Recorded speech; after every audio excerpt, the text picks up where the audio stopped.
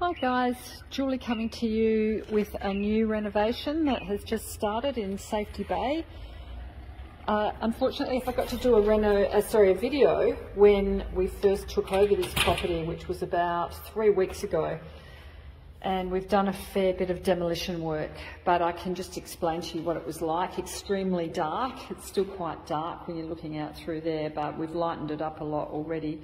So it had very dark slate floors all the way through here. Just had a long weekend and had a jackhammer and a labourer in for three days. And he has done an amazing job of lifting up all of the slate. The two skip bins are full, so we've still got a bit more to put in the bin, but what a difference. It's just lightened it up so much already. We've got roller shutters on the front, um, which is always good in this area. We've got these tiles here which we've chosen not to rip up. We may keep them, we may carpet over them, we're not really sure yet. So master bedroom, very strange. It had three big tinted sliding doors covering the walk-in robe, a blank wall and a tiny ensuite door.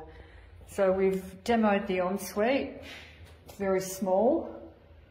We're looking at, well, we'll, we'll be getting a hobless shower, so which means we need to get the reflux valve put in in sewage for that.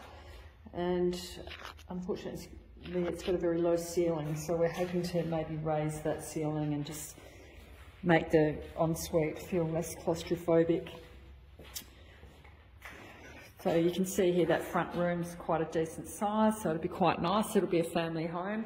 This is the kitchen area, so we'll be knocking out this bit of wall here so that we sort of have like a modern style with just the cabinetry. And we'll be getting some clear sheets put out there on the patio to give it some light. It's been a very dark fortress for a very long time and our plan is to lighten it up and make it a nice home for a family once again. There was COLORBOND sheeting all down the side of the house there, so you actually could not even see in that room. The light didn't work, so it's just quite amazing to me being here now and I can actually see what's going on. Still need to get rid of the bath. We're going to replace it with a nice new one. And we've got some bedrooms with robe recesses. We found a couple of spare sliding mirror doors, so we've decided to put them on that recess uh, to match this one here. So roller shutters on all the windows. I've got a very eager 14 year old digging the hole for the reflux valve, so that's all very um, cool. If I finish in like 20 minutes, do I still get 20 bucks? Yeah, you might do. See how you go. See how deep the hole is. Okay. Thanks. Yeah. That hole needs to be one metre square by 1.5 metres deep. So he seems to think he'll get it done in 20 minutes. We'll see.